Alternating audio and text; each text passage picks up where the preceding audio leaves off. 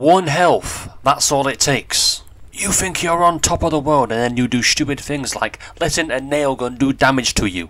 Just when I think I could kill them, and I definitely can. I don't kill them. Which results in my health dropping too close to comfort. Like, look at this. One more shot, and I would be dead. All for underestimating one nail gun. 24 million almost down the drain.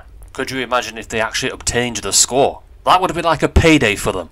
Unfortunately for them, I do not give score handouts. And the one chance they did have, they squandered. You do all that damage to me just to die from one big ass annihilator. It's okay, at least you had a chance. Not everyone did.